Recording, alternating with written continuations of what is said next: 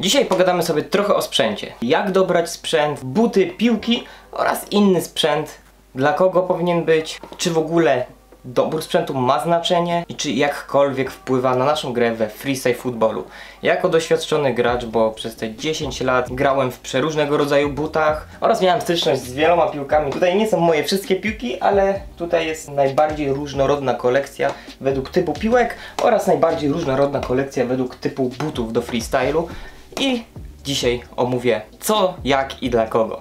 Więc cześć, ja jestem Brzezik, to jest kanał Jazz Freestyle i dzisiaj porozmawiamy o tym, jak dobrać sprzęt we freestyle footballu. Przede wszystkim mogę Was trochę zaskoczyć, ale dla początkującego gracza sprzęt nie ma najmniejszego znaczenia. Tak, dobrze słyszycie.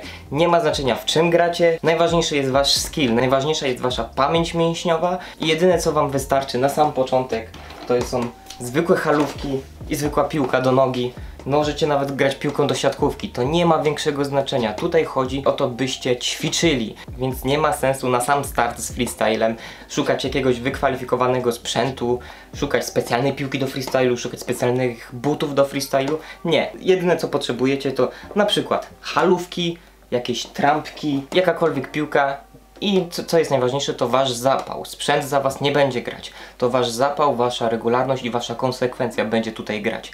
Różnice odczuwa się, kiedy jest się już średnio zaawansowanym graczem, a największe różnice czuć, kiedy jest się tym bardziej zaawansowanym. Kiedy w dłuższej kombinacji, składającej się z wielu trików, ten mały detal w postaci lekkości buta albo przyczepności piłki ma duże znaczenie.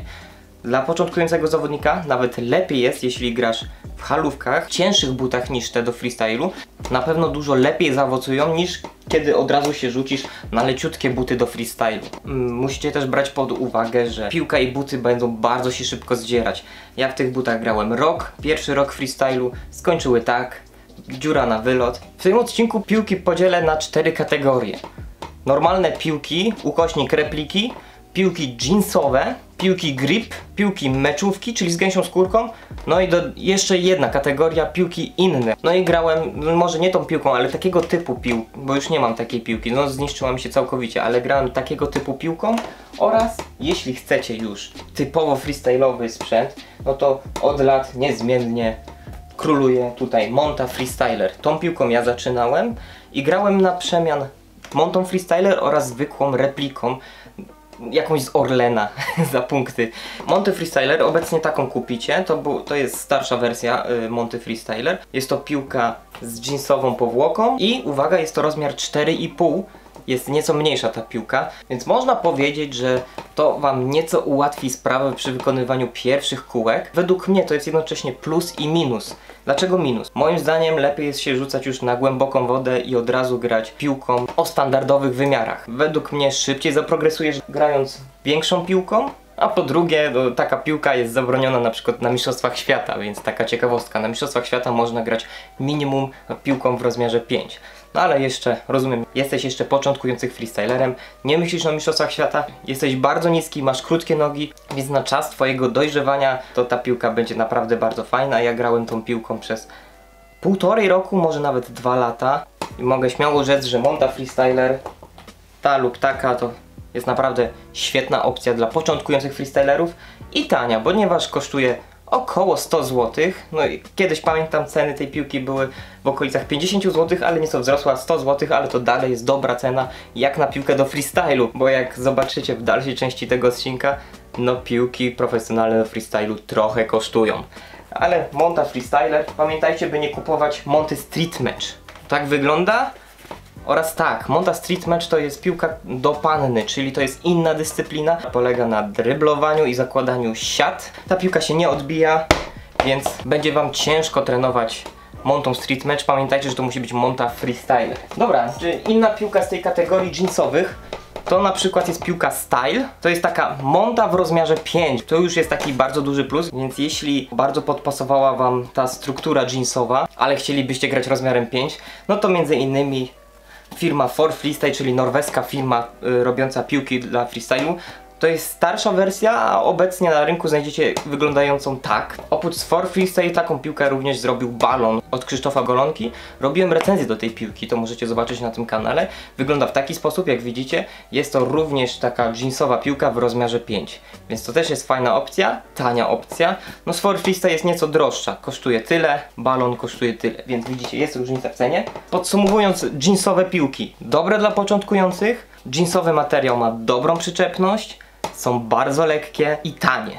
Więc tutaj mamy dużo plusów. Jeśli chodzi o minusy, to bardzo szybko się niszczą. Jak widzicie, ta powłoka no, wygląda tak po roku grania. Dla mnie osobiście lekkość jest minusem i to jak widzicie zależy już od freestylera, co bardziej woli. Przejdźmy do typu piłek, którą freestylerzy myślę, że najczęściej wybierają, czyli tak zwane meczówki. Przykładowe dwie meczówki. Czym one się charakteryzują? Są to piłki z gęsią skórką, czyli jest to powłoka taka chropowata. One są dosyć drogie, to już jest bardziej zaawansowany sprzęt. Ta piłka jest mega wytrzymała, ma kilka warstw pod sobą i ma tę fajną właściwość, ponieważ freestylerzy zazwyczaj grają tak średnio napopowaną piłką, czyli jak widzicie jest trochę mniej tego powietrza. Ona się nie będzie zniekształcać, ona będzie zawsze okrągła. Y, co może się dziać w replikach? Na przykład, jeśli będziemy grać na dłuższą metę, ja miałem tak często z replikami, chropowata powierzchnia robi świetną robotę, w zależności jaka to jest meczówka, każda ma inną, swoją chropowatą powierzchnię i ona jest przyczepna do buta, bardzo fajnie się zahacza wtedy piłkę do dookoła świata, niemal każda meczówka ma bardzo dobrą odbijalność, to są rozmiary 5, to są oficjalne piłki tworzone dla piłkarzy, które freestylerzy sobie upodobali. Minusem ich jest ogromna cena, czasami wychodzi tutaj kilka stów za taką piłkę, ale na pewno jest ona warta swojej ceny. Zazwyczaj meczówkę kupuje się raz i ma się ją na długie lata, jest mega wytrzymała i służy. I kiedy taki początkujący freestyler powinien się zdecydować na meczówkę? Jeśli są na to fundusze, to można jak najbardziej od początku grać już meczówką. Nie widzę żadnych przeciwwskazań, ale jeśli chodzi o taką klasyczną drogę do meczówki, to zazwyczaj było tak, że freestyler grał najpierw normalną piłką, potem montą, potem zdecydował się na meczówkę. można tak pół żartem, pół serio powiedzieć, że to, że kiedy już przechodzisz na meczówkę, to już jesteś dojrzałym freestylerem, przechodzisz już na średnio zaawansowany świat. Podsumowując, meczówki mega wytrzymałe, super przyczepność, mega odbijalność, bardzo przyjemnie się nimi gra. Ogromnym minusem to jest ich cena i również to, że są produkowane tylko raz na rok, są to zazwyczaj limited edition. Yy, na przykład takiej berlinki z 2015 roku nie zobaczycie w sklepie. W sklepie zobaczycie tylko piłki wyprodukowane z danego roku. Takie starsze wersje, takie perełki jak na przykład Team Gaze, no to już znajdziecie tylko w jakichś aukcjach internetowych. A jeśli chodzi, już wspomniałem o tym gejście, no to to już jest takiego innego rodzaju meczówka. No, bardziej podchodzi pod piłki z serii antyków. Yy, I jak widzicie, ona nie ma gęsiej skórki. Jest to płaska powierzchnia, niechropowata, która również jest świetna do grania. No i te piłki to są jedne z tych droższych, więc raczej to jest piłka dla koneserów. Musicie pamiętać, że, yy, bo wielu z Was mam wrażenie, że myśli, że to jest piłka samogrająca.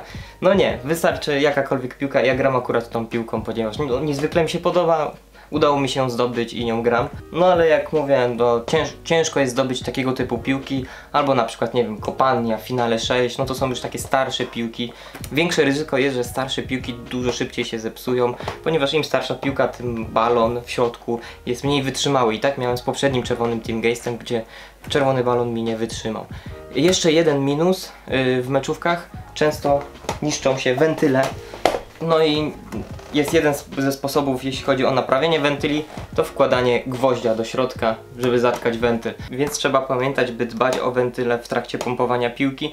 Na przykład pompować je zwilżoną igłą, żeby nie naruszać, nie psuć tego wentylu, który trzyma powietrze w naszej piłce.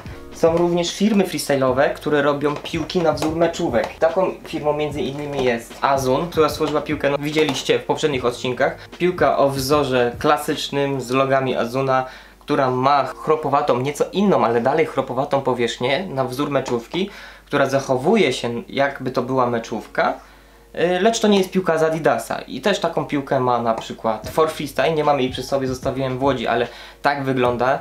Zrobiliśmy również recenzję do tej piłki. Jest to jedna z lepszych piłek yy, stworzona przez firmę freestyle'ową dla freestylera. Jest to bardzo przyczepna piłka, bardzo wytrzymała, bo gram nią już kilka lat, więc mogę ją polecić, ale również jest ona dosyć droga. Powstają również inne firmy, które robią piłki na wzór meczówek. Jest też również firma Spin, jest również SWRL. Im więcej firm, tym lepiej. Coraz więcej będzie piłek. One są jeszcze też takie, że one nie są tworzone do piłki nożnej, tylko do freestylu, więc jakieś tam technologie związane z przyczepnością, z odbijalnością są bardziej stworzone pod freestyle, więc jeśli chodzi o taki dobry, solidny sprzęt do freestylu, który kosztuje nieco więcej, to polecam właśnie z firm freestyle'owych. Duży plus jest też taki, że one są zawsze dostępne. Dobra, to były meczówki. Teraz czas na inny typ piłek. Mam tylko jeden egzemplarz, jeśli chodzi, jeśli chodzi o ten typ piłek. Są to piłki typu grip. Produkuję je for freestyle, produkuję je spin. I miałem kiedyś taką piłkę skipsty z Decathlonu. To jest powierzchnia taka jak w oponie. To jest bardzo przyczepna powierzchnia. To już jest dla zawodników o zupełnie innym stylu gry, którzy preferują tak zwane bloki. Czym są bloki? Są kombinacje, które polegają na, jak sama nazwa mówi, blokowaniu piłki między nogami, na slapach, czyli to są takie kombinacje, które teraz widzicie na ekranie. To jest zupełnie inny styl we freestylu. Świetna ona jest do różnych chwytów piłki między nogi, pod nogę, ale również to się sprawdza w różnych kombinacjach w stylu R. Jest niezwykle przyczepna do stopy, czasami aż za bardzo. Y, no to nie jest piłka do mojego stylu gry, ale z pewnością jest wielu freestylerów, którzy bardzo lubią takiego typu piłki. Koszt tej piłki wygląda następująco. Można trochę porównać, że ta piłka jest trochę jak piłka do kosza w rozmiarze 5. Więc jeśli chodzi o takiego typu piłki, to już dla freestylerów, którzy mają bardziej ukierunkowany styl. Chyba tyle o tych, o tych gripach. Więc podsumowując, mega przyczepne, aż czasami za bardzo. Podobne do piłki do kosza, dla osób grających bloki. Jeśli chodzi o minusy, moim zdaniem nie jest to wszechstronna piłka, więc dla typowych lowerowców to nie będzie dobra opcja według mnie, chociaż znam osoby, które takimi piłkami lowera grają. E, inny typ piłek, czyli e, tak zwane inne, czyli mam tu na przykład piłkę Electric, stworzoną przez firmę freestyle'ową z Francji, Food Style. Jest to zupełnie inna piłka, jest to inna powierzchnia pomiędzy jak piłka plażowa, a piłka do siatki. Ona jest super lekka, świetna dla początkujących. No możecie zobaczyć, zrobiłam obszerną recenzję tej piłki. Mam też taką starszą piłkę z Freestyle, to jest też taka jakby piłka gumowo-plażowa. Nie wiem, czy ona dalej jest na stronie, bo to stara już piłka, ale jak widzicie są różnego rodzaju piłki do freestylu, stworzone przez firmy freestyle'owe, do wyboru do koloru. I jeśli chodzi o różnice w grze, to różnice odczują ci freestylerzy bardziej zaawansowani. Tak jak mówiłem i podkreślam, podkreślam to i często będę podkreślać. Jeśli jesteś początkującym freestylerem, który dopiero zaczyna, umie podstawowe triki, wystarczy ci naprawdę zwykła jakakolwiek piłka i ważny jest twój skill w nogach, to co masz tutaj, a nie to co masz tutaj. To jest narzędzie. Dla przykładu malarz, on nie wybiera jakiegoś wykwalifikowanego pędzla, on po prostu maluje. To co ma tutaj jest ważne, tak? Czyli musicie pamiętać, by po prostu trenować regularnie, nieważne czym. Dobra, tyle jeśli chodzi o piłki. Przejdźmy do butów. Buty to już inna bajka. Dobra, tak jak mówiłem wcześniej, na sam początek też nie ma jakiegoś większego znaczenia. Co jest najważniejsze? Ważne, żeby przód buta był płaski, żebyście mogli swobodnie odbijać piłkę palcami oraz żeby podeszwa była również płaska, żadnych obcasów, żadnych turfów czy coś. Podeszwa musi być płaska i uwaga, we freestyle najlepiej nie grać w korkach. Potrzebujecie tutaj płaskiej podeszwy, ponieważ freestyle gra się raczej na płaskich, twardych powierzchniach, czyli na przykład na betonie, na tartanie, na sali gimnastycznej. Na trawie raczej się nie gra w freestyle, chociaż nikomu nie bronię oczywiście. Jakiekolwiek halówki, jeśli się zainteresowaliście freestylem, to prawdopodobnie jesteście piłkarzami, którzy wcześniej grali w piłkę, więc pewnie macie jakieś buty do grania. O, tutaj jeszcze też inne buty, w których grałem. No i widzicie, nawet ja grałem w turfach. Na początku jakoś to super nie, mi nie przeszkadzało, ale jeśli chodzi o trenowanie, trzymanie piłki na podeszwie, to jest dosyć utrudniona sprawa, więc pamiętajcie o płaskiej podeszwie.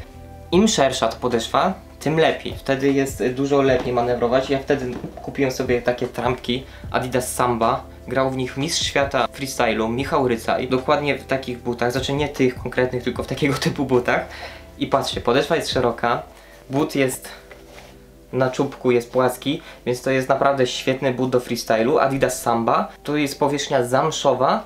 No i tak jak mówiłem, takiego typu buty one są ciężkie, więc one nie są jak te profesjonalne buty do freestylu, które charakteryzują się tym, że ważą tyle co pudełko zapałek. I tak jak mówiłem wcześniej, to jest duży plus dla początkujących. Grajcie w cięższych butach, grajcie na początku w halówkach czy jakichś trampkach, bo to zaprocentuje na przyszłość. Będziecie trenować dookoła świata w tych cięższych butach. Jeśli w tych butach będzie Wam to wchodzić, potem będziecie robić dłuższe kombinacje dalej w tych butach, to Wasze nogi będą silniejsze, będą dużo sprawniejsze, ponieważ podnoszą większy ciężar. I to są takie mikro różnice, ale one naprawdę zaprocentują. Będziecie lepszymi graczami, wasza noga będzie szybsza przy kółkach. I to są takie detale, ale no bardzo dużo dają, więc polecam tak zacząć przygodę z freestylem. Nikomu nie każę, ja tylko tak polecam.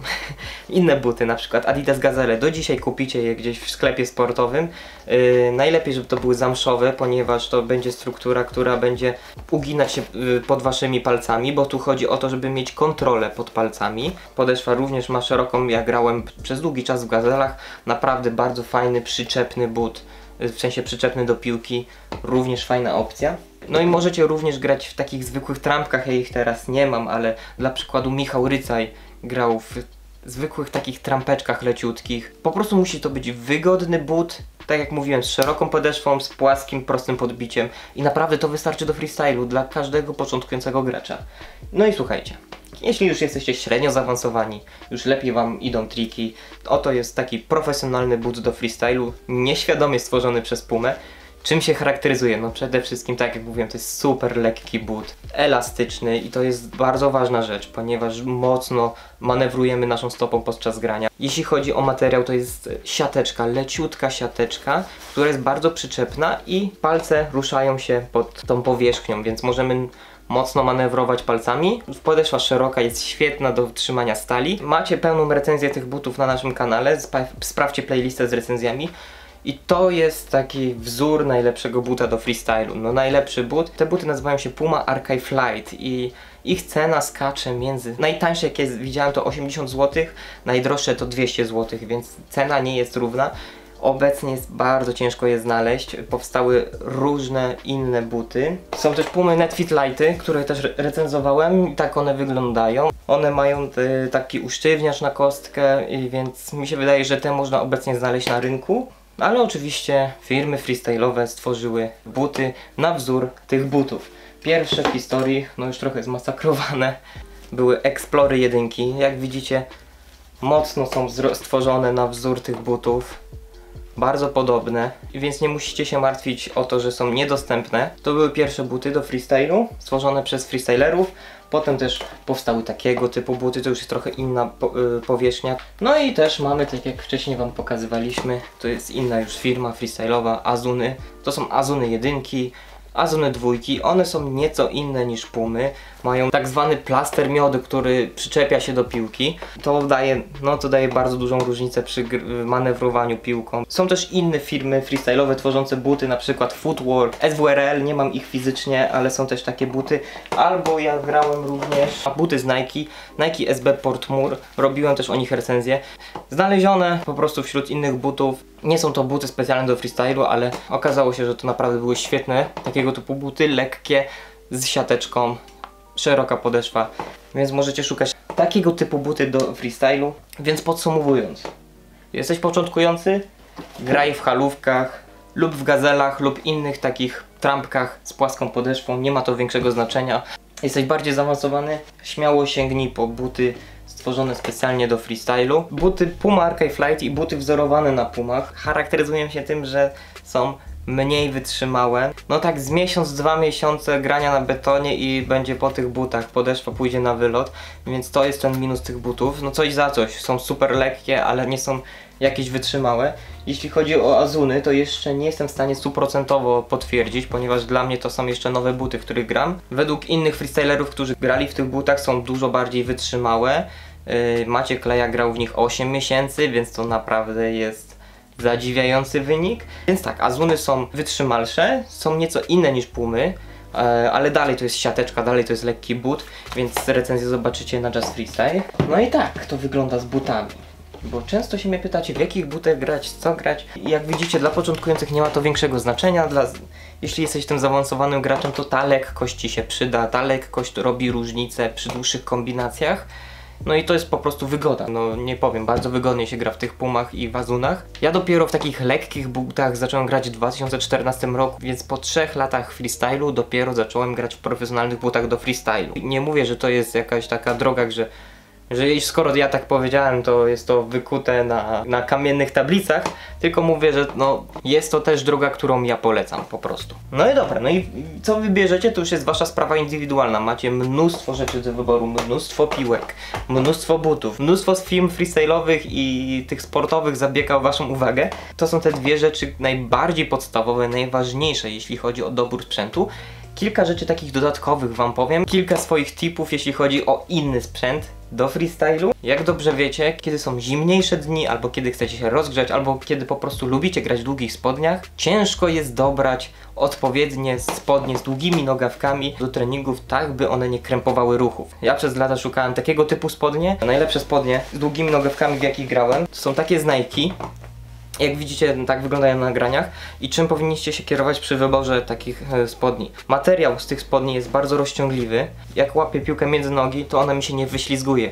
Więc co to są za spodnie? To nie jest stuprocentowy poliester. Pamiętajcie, by nie brać stuprocentowego poliestru. Poliestru?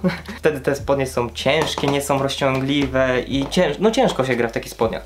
To jest 94% poliestru i 6% elastanu. Elastan to jest taki rozciągliwy materiał. No i szukajcie długich spodni które posiadają ten elastan. To jest naprawdę świetna opcja do freestylu. Mam tu, a tutaj mam z kolei bawełna i elastan, które też są rozciągliwe jak widzicie. To są akurat, te konkretne filmy są z firmy Carpatre, mają swoją stronę internetową z takimi spodniami. To nie jest sponsorowany materiał, taką polecam od serca. I też inne spodnie z Carpatre, które też poliester i elastan, które też są rozciągliwe. Najlepsze takie spodnie to są, bo chodzi o to, by mieć pełną kontrolę przy wymachach, by te spodnie nie krępowały ruchów, a ciężko jest o takie spodnie. Inne jeszcze takie oferuje e, For Freestyle, ale one są cholernie drogie, więc jeśli macie na to kasę i ochoty, są bardzo ładne, są drogie i mają też ten elastan w sobie to na stronie For Freestyle mają takiego typu spodnie również, więc polecam. Te z Nike spodnie to są ze zgody FC, więc jeśli znajdziecie też takie, to są bodajże, nie jestem pewien, ale to są chyba Nike Dry Strike, tak się to nazywają, takiego typu spodnie. Ale no najważniejsze to, żeby miały w sobie elastan. Są leciutkie, zbierają wilgoć i nie przeszkadzają w kombinacjach. Tak, o takie chodzi spodnie do freestylu. Wiem, że taki poboczny temat, ale to też według mnie jest bardzo ważna rzecz. Inny bonusowy sprzęt do freestylu. Jak idziecie na trening, często piłka zajmuje bardzo dużo miejsca w plecaku, więc z pomocą przychodzą holdery. Domowa samoróbka, no i takie bardziej profesjonalne, ale również samoróbka stworzona przez Bartka Żmijewskiego, więc jeśli chcecie yy, kupić tanio holdery, to piszcie do Bartka Żmijewskiego, jeśli dalej robi, a jeśli nie, no to też For Freestyle oferuje, albo firma K-Craft, takie droższe, porządne holdery na piłkę. No to działa tak, że bierzecie sobie piłkę tyk zakładacie i przyczepiacie to do plecaka i nie dość, że fajnie, stylowo wyglądacie, no to jeszcze macie dużo miejsca w plecaku. No i inne rzeczy, moim zdaniem niezbędnik freestylera, wałek i piłeczka. Się rozbija mięśnie, rozluźnia mięśnie. Pełny film o tym jak się rolować i po co się rolować jest na kanale, link zostawię w opisie. To jest niezbędnik freestylera, nie kosztuje dużo i naprawdę się przyda, nawet możecie po prostu rurę PCV kupić i się tym rolować. Na każdym treningu po treningu, no to jest niezbędnik freestylera, to i to. Więcej o rolowaniu to zrobiłem w odcinku z Darkiem, czyli z trenerem motorycznym, który zna się na rzeczy. No i słuchajcie, jeszcze inna rzecz, jeśli idziecie na trening, to zazwyczaj słuchacie jakiejś muzyki. Mogę wam polecić JBL Go 2. Na Bluetootha włączacie muzykę jaką chcecie, która was motywuje. Jak wiecie, muzyka świetnie oddziałuje w trakcie treningu na waszego skilla, na, waszą, na wasz mental. W skille freestyle'owe to przede wszystkim właśnie mental. Około stówki, a jeśli chcecie jakieś słuchawki bezprzewodowe, to są takie z, z Xiaomi, chyba że gracie Apera, to nie polecam, ale do grania lowera podczas treningu to te słuchawki przewodowe, też chyba stówę. Ostatnia rzecz, dobrze jest nagrywać swoje treningi, wiecie, to jest świetne do analizy swojej gry, by zapamiętać jakieś triki, by podpatrzeć, co robię dobrze, co robię źle. Dobrze jest też oglądać swoje triki, jak się gra, to też często motywuje. Dobrze jest robić filmy z jakichś swoich okresów we freestylu. Nie dość, że pamiątka na całe życie, to po drugie to macie jakiś zapis tego, jak kiedyś graliście i macie jakiś tam pułap do przeskoczenia. Patrzycie, nagraliście film, tak gram teraz, muszę być teraz lepszy niż w tym filmie i nagrywacie najlepszy film. To jest naprawdę według mnie jedna z lepszych motywacji do progresowania, do działania. No i dobrze jest nagrywać każdy swój trening. Możecie nagrywać telefonem, ale ja nie jestem zwolennikiem nagrywania telefonem, mam zbyt duży chaos wtedy. Nie odnajduję się w tych plikach w telefonie, jest to niewygodne. Z telefonu zazwyczaj też puszczam muzykę, więc potrzebuję drugiej kamery. Jak nawet jakieś używane GoPro możecie kupić jakiś malutki statyw, to jest zadychę z Carrefoura, stawiacie i nagrywacie. Ewentualnie jeśli chcecie jakieś ładniejsze ujęcia, zrobić jakiś ładniejszy film, no to ja zazwyczaj nagrywam Canonem Canon 700D, to jeśli chcecie taki, taką samą kamerę, bo często się pytacie, no to polecam. E, Od lat używam Canon 700D. Na Super Bowlu mi go ukradli, kupiłem znowu ten, ten sam aparat. Polecam grać daleko od kamery, żeby nie, nie walnąć piłką niefortunnie w kamerę. No dobra. Chyba tyle jeśli chodzi o ten sprzęt do freestylu. Na koniec tylko takie ogłoszenie sponsorowane, jeśli chcecie kupić sprzęt od Azuna, czyli piłkę lub buty. Dużo taniej, bez y, przesyłki z Norwegii, bez y, opłaty celnej, to piszcie do Maćka Lei. On zbiera zamówienie na sprzęty od Azuna, które całym sercem mogę wam polecić. To jest wysokiej jakości sprzęt. Piszcie do Maćka, kontakt wam dam w komentarzu pod filmem. No i słuchajcie, no i mam nadzieję, że rozwiałem wszelkie wątpliwości, jeśli chodzi o dobór sprzętu do freestylu. Często na wiadomościach prywatnych dostawałem przeróżnego rodzaju pytania. W czym grać do tylu złotych, co kupić, czy ta piłka będzie dobra, czy te buty będą dobre. Mam nadzieję, że tym filmem rozwiałem te wszystkie wątpliwości. Mam nadzieję, że każdy początkujący freestyler zdał sobie sprawę, że nie ma większego znaczenia jakim sprzętem się gra na samym początku gry. Pamiętajcie, że sprzęt za was nie gra, to jest tylko dodatek, to jest tylko narzędzie. Pamiętajcie, po prostu trenujcie. I tym pięknym akcentem się z wami żegnam. Trochę obszerny odcinek, ale mam nadzieję, że wam pomoże. Trzymajcie się, Eldo, cześć! Boże, teraz wszystko to trzeba posprzątać.